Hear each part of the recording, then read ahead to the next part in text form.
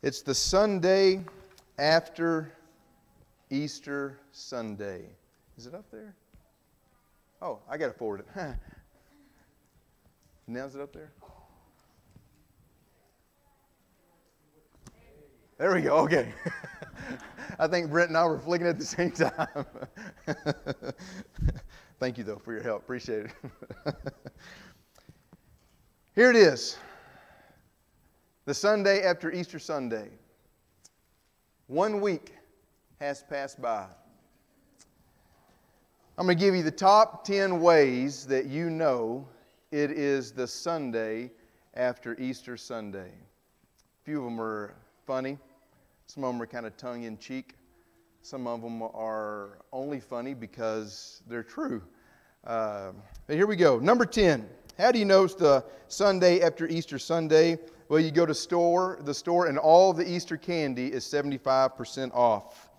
Number nine, you know it's the Sunday after Easter Sunday because you don't have trouble finding a parking spot at the church building. Number eight, you don't have trouble finding a seat even if you're late. Number seven, no one is wearing a new outfit. Number six, the number of visitors drops dramatically, although I have seen a number of visitors here this morning. So I'm thankful for that. We can scratch that one off the list. Number five, uh, how you know today is the Sunday after Easter is you can walk right into your favorite restaurant and be seated immediately. Number four, there were no Facebook posts about the resurrection. Anybody see one? I didn't either. Number three, the Easter eggs that were not found last Sunday were found yesterday by the lawnmower. Number two, the people we thought were visitors last week but were really members are not here this morning. And number one, the tomb is still empty and it's still a reason to celebrate. In our text this morning, John chapter 20, we have one week, the Sunday after Resurrection Sunday, and you have the apostles together again, plus one who was not with them when Jesus appeared on that first Sunday, Thomas. And he told them, Unless I see Jesus, unless I can put my fingers in the hands in his holes and my hand in the side of, it, uh, the, the, um, the, where the spear stuck him on the side, I will not believe. And they're assembled together, presumably, maybe in the same room. The door is locked. Then all of a sudden, Jesus appears. And Thomas, any doubt is gone. And he saw, and he put his finger in the holes and his hand in his side, and it caused him to proclaim, My Lord and my God. Was that Sunday any less miraculous or any less better or any less amazing than the Sunday before when the resurrection actually took place? I would say no. I would say it was just as exciting, maybe even more so for Thomas. Today's not any different than last Sunday when you think about it. It's just a week later. But the temptation is to treat Easter like it's an ending the new clothes have been bought. Everyone is dressed and ready. We went to church. The eggs have been found. The candy has been eaten. Jesus is risen. Now I can eat sugar again, binge Netflix, and get on social media again. Finally, life is back to normal, right? Finally. By mid afternoon on Easter, the joy has waned and the excitement of the resurrection has faded. But without the resurrection of Jesus, his sacrifice for sin is incomplete. If Christ has not been raised, your faith is futile or vain, and you, all of us, we are still in our sin, lost, without hope. 1 Corinthians 15 and verse 17. The resurrection of Jesus is central to our faith. Central to our faith. If it's gone, Christianity crumbles to the ground, and we might as well not be here this morning. We might as well be eating, drinking, and being merry if the resurrection didn't take place.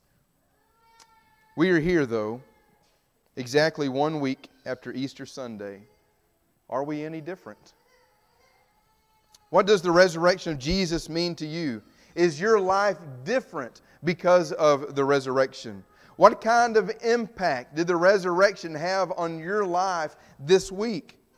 Did you do anything differently because Jesus is still alive? The resurrection of Jesus, it changes everything.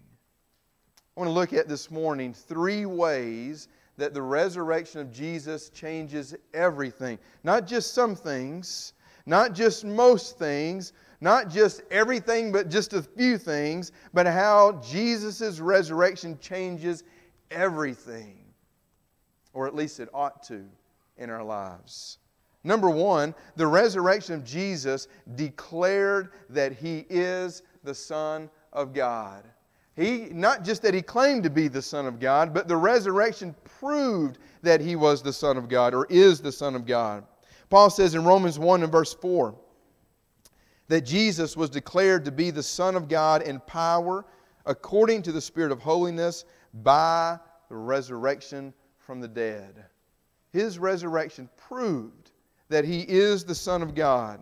It is that he is who he said he was. All throughout the New Testament, where I say Matthew, Mark, Luke, and John, there are several places where Jesus claimed to be God, that he is the Messiah, that he is the Son of the Father, several times throughout the New Testament. And while people may have doubted, and there may have been a little bit of room there for some doubt, the resurrection vindicated Jesus as God in the flesh who came into the world to bring healing, salvation, and to usher in the kingdom. The body of the saved, the group of people that Jesus is coming back to rescue and to take home. And within that framework, that Jesus is the Son of God, the resurrection was God's stamp of approval on the sacrifice of Jesus. Raising him from the dead was God's way of accepting Jesus' substitutionary sacrifice on our behalf. Look at Romans chapter 4.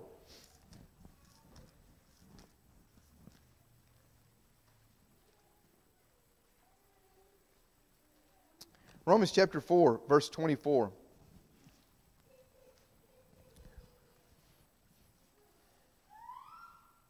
We'll start at verse 23. But the words, it was counted to him, were not written for his sake alone, but for ours also. It will be counted to us who believe in him who raised from the dead Jesus our Lord, who was delivered up for our trespasses. In other words, he was sacrificed because of our sin and then raised for our justification. How do I know that my sins are forgiven through the sacrifice of Jesus? Paul says, because the Father raised him from the dead. It's how we know that that sacrifice was and has been accepted on our behalf. And we don't have to worry about anything. There's not anything that we can do in return to earn uh, forgiveness. But God raised him from the dead. We can know that we've been forgiven. The resurrection proved Jesus to be God and that his once and all sacrifice of sin was accepted by the Father, and that changes everything. It changes everything.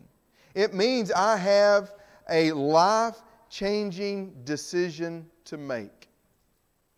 Every one of us. Every person that's walking the face of the earth at this moment has a life changing decision to make. Either I make Jesus my King, King of my life, and I experience His forgiveness, or I don't, and I will experience His judgment. It changes everything. God has laid a choice before me. We, uh, uh somebody said uh, in our Wednesday night class that, that God has put the ball back in our courts, and He has. You and I get to make that decision. I can make Jesus king in my life and experience freedom and salvation and everything that heaven has to offer. Or I can refuse it. And I will experience eternal separation from God. The resurrection proves Jesus as the Son of God. Number two, the resurrection empowers us to live victoriously till Jesus returns. Open your Bibles to Romans 8.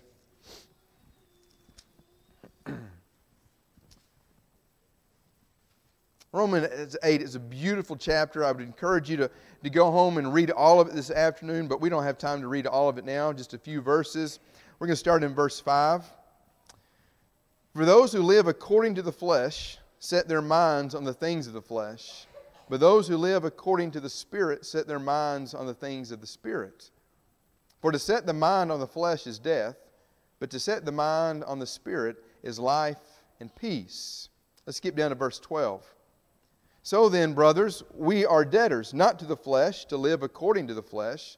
But if you live according to the flesh, you will die. But if you live, but if by the Spirit you put to death the deeds of the body, you will live. For all who are led by the Spirit of God are sons of God. Now look at what he says in between this. We're going to look at verses 10 and 11 now. But if Christ is in you, Although the body is dead because of sin, the spirit is life because of righteousness.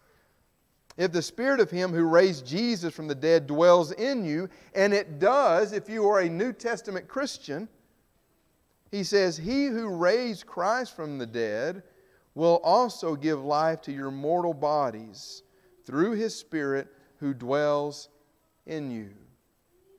Those who have participated in the death, burial, and resurrection of Jesus have the Spirit of God living within us, and we are empowered by His Spirit to live as Jesus lived. How can I love others the way that Jesus loved others? Because I have the Spirit within me. How can I show compassion to those that the way that Jesus showed compassion? Because I have the Spirit living within me. How can I be merciful? How can I do everything, not everything, but live as Jesus lived and show the same uh, character uh, and all those things? How can I do that? Because I have the Spirit. The same Spirit that lived in Jesus and raised him from the dead is the same Spirit that lives in me as a New Testament Christian. And He empowers me to live a victorious life, not a sinless life, but a victorious life. One where I do not have to give in to the desires of the flesh, but I can walk in the desires of the Spirit. And I can show love, joy, peace, patience, kindness, goodness, faithfulness, gentleness, and self control. Because as Paul says, I've been crucified with Christ. It is no longer I live, but Christ who lives in me. In the life that I now live in the flesh, I live by faith in the Son of God who loved me and gave himself up for me. I don't have to be enslaved to my fleshly desires. I don't have to be unloving, impatient, full of anger and wrath and vengeful. I don't have to be all those because I have the Spirit of God living within me. And if I walk in the Spirit, I'm going to bear the fruit of the Spirit. And people are going to see that there's something different about me. And that changes everything. Through the resurrection of Jesus, I have been made alive with Christ and seated with him in the heavenly places. Look at Ephesians chapter 2.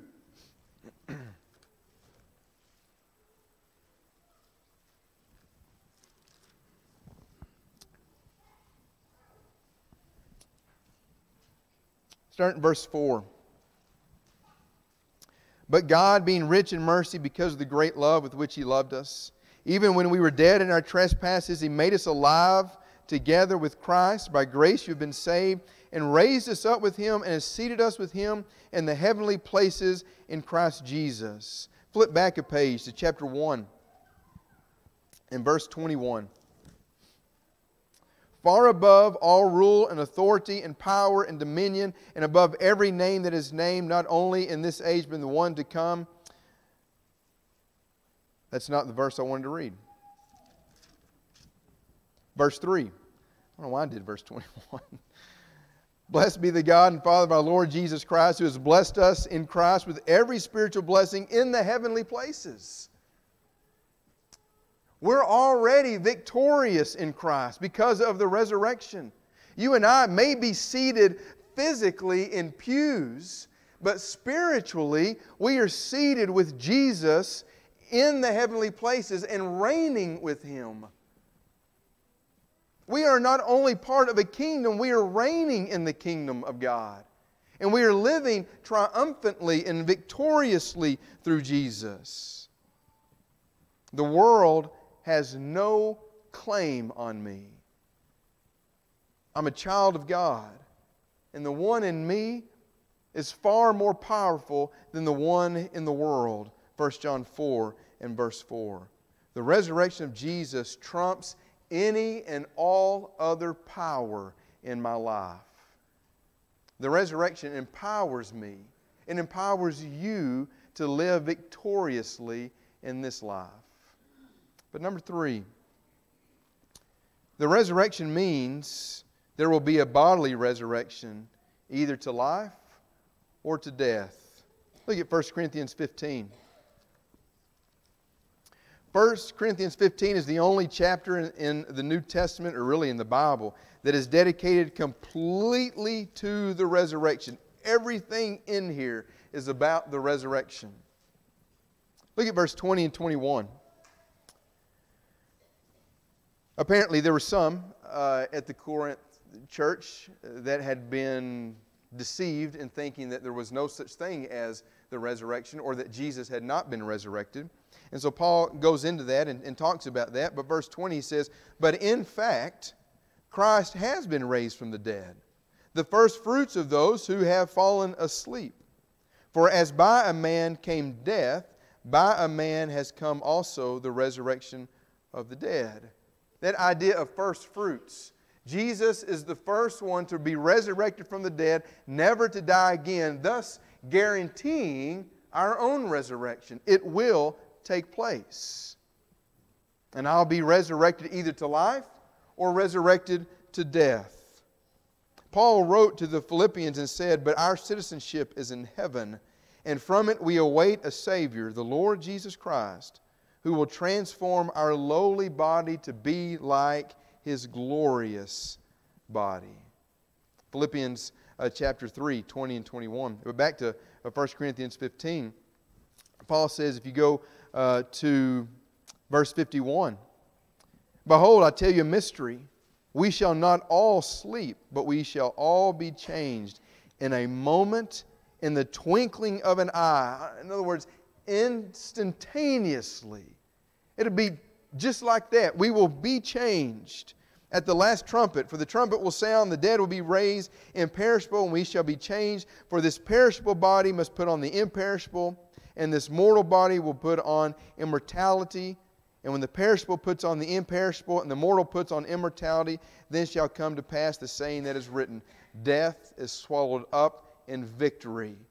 O death, where is your victory? O death, where is your sting? And then verse 57 But thanks be to God who gives us the victory through our Lord Jesus Christ.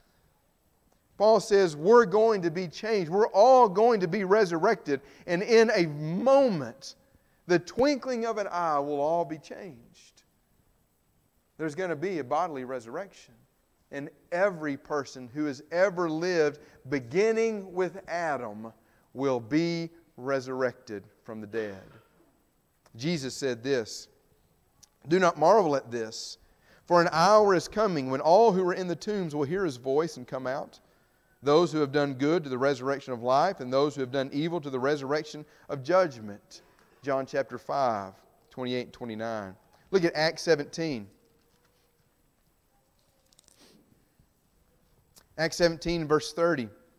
Paul says, The times of ignorance God overlooked, but now commands all people everywhere to repent. And he tells us why. Why does God want us to change our lives?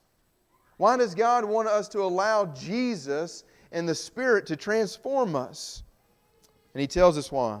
Verse 31 Because he has fixed a day when he will judge the world in righteousness by a man whom he has appointed, and of this he has given assurance to us or to all by raising him from the dead. Who's he talking about?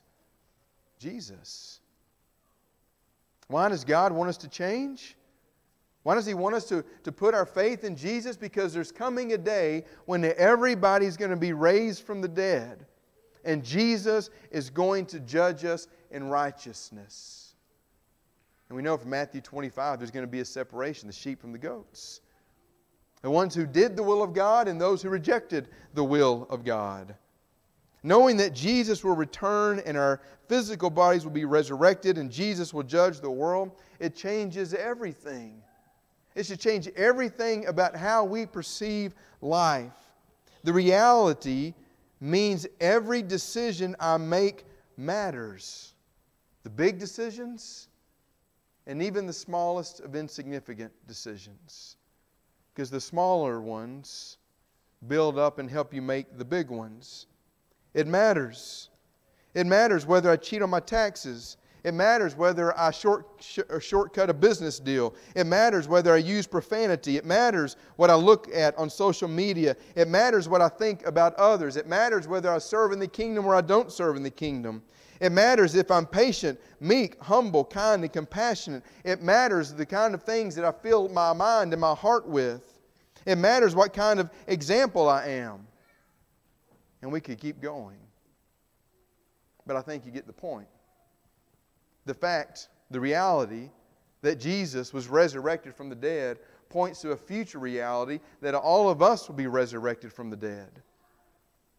And there's going to be a separation the sheep from the goats, the righteous from the unrighteous, the believers from the unbelievers, the holy from the unholy those who embraced Jesus and his way of life, and those who rejected Jesus and his way of life. And we could keep describing it in different ways, but that reality changes everything. It changes how we process life. The choices we make matter because Jesus is coming back. And that's not meant to scare you it's not meant to produce fear in you. Matter of fact, it's meant to do the other. It's meant to give you hope. Look at 1 Peter chapter 1. Starting in verse 3. Blessed be the God and Father of our Lord Jesus Christ. According to his great mercy, he has caused us to be born again to a living hope through the resurrection of Jesus Christ from the dead, to an inheritance that is imperishable, undefiled, and unfading, kept in heaven for you, who by God's power are being guarded through faith for salvation ready to be revealed in the last time. The fact that we will be resurrected from the dead and there will be a separation isn't meant to instill fear in you.